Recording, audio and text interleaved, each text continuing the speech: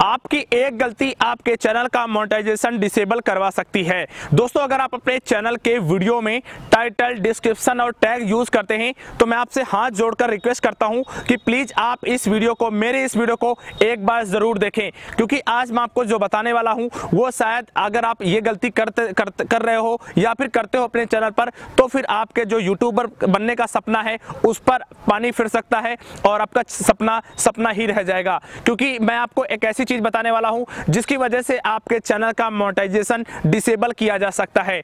दोस्तों, आपसे मैं एक रिक्वेस्ट करना चाहूँगा कि अगर आपने अभी तक वीडियो को लाइक नहीं किया तो लाइक कर दें और चैनल को सब्सक्राइब नहीं किया है तो ज़रूर कर दें।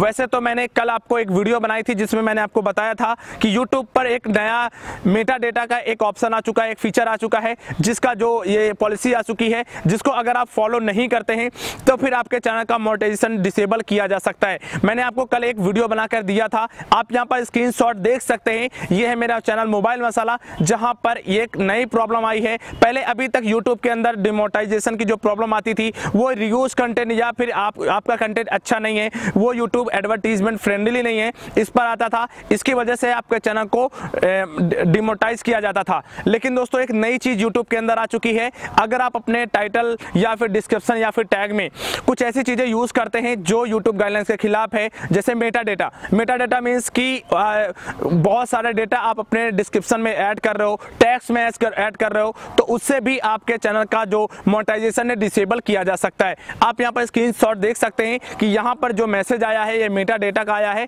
कि आपने अपने डिस्क्रिप्शन टैग में और अपने टाइटल में जो चीज़ें यूज़ की हैं, वो हमारे मिसलीडिंग कर रही है। मेटा डेटा है, पूरा बहुत सारा डेटा आपने भर दिया है, जो हमारे गाइडलाइंस के खिलाफ है, जिसकी वजह से आपके चैनल को डिमोटाइज किया जाता है।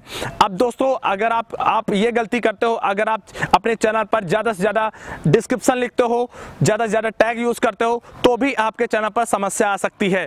सबसे पहले मैं आपको बता दूँ कि समस्या कब आएगी और आपको इससे कैसे छुटकारा पाना है? अगर आप ये गलती कर रहे हो तो ये गलती कैसे आपको सही करनी है?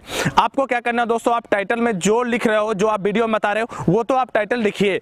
लेकिन जो आप टैग में यूज़ कर रहे हो टाइटल से रिलेटेड जो टैग यूज़ कर रहे हो, वो भी ठीक है, वो भी आप टैग यूज़ कर सकते हो। लेकिन जो डिस्क्रिप्शन का पार्ट है, ये बहुत ज़्यादा इंपॉर्टेंट हो जाता है दोस्तों।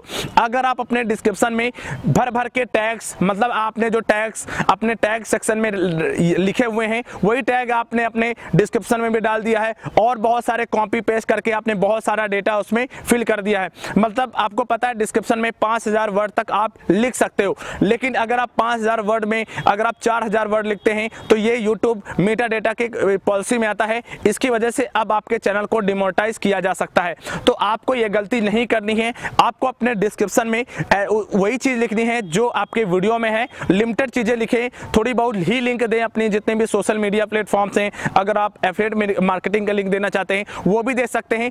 थोड़ा बहुत आप डिस्क्रिप्शन लिख सकते हैं। तो मैं आपको एक क्राइटेरिया बता देता हूँ कि कितना आपको लिखना चाहिए बेस्ट रहेगा। तो हज़ार से लेकर पंद्रह वर्ड्स तक आप इसके बीच में आराम से अपने डिस्क्रिप्शन में लिख सकते हैं। लेकिन अगर आप इसको क्रॉस करते हैं, ज़्यादा से ज़्यादा आप टैग यूज़ करते हैं, पाँच वर्ड में आप चार हज़ार, तीन हज़ार, पैंतीस सौ टैग यूज़ करते मतलब वर्ड लिखते हो तो फिर आपके चैनल पर मेटा डेटा वाली पॉलिसी लगाकर आपके चैनल को डिमोटाइज किया जा सकता है। अब आपको यहाँ पर मैं स्क्रीन शेयर करूँगा। कि जब ये मोनेटाइजेशन डिसेबल हुआ दोस्तों तो मेरे चैनल पर जो वॉच टाइम ये तो एक साल बाद बंद चैनल डिलीट हो गया था। लेकिन अब इसमें फिर से वॉच टाइम कंप्लीट करना पड़ेगा। फिर से 4000 घंटे वॉच टाइम कंप्लीट करना पड़ेगा क्योंकि 30 दिन बाद तो आप रिप्लाई कर सकते हैं। लेकिन तभी रिप्लाई कर सकते हैं जब आपके चैनल पर एक जो ए, ए, ए, एक साल पहले आपके आज से लेकर, आज से लेकर एक साल पहले तक का जो वॉच टाइम है, वो एक चार हज़ार घंटे होना चाहिए।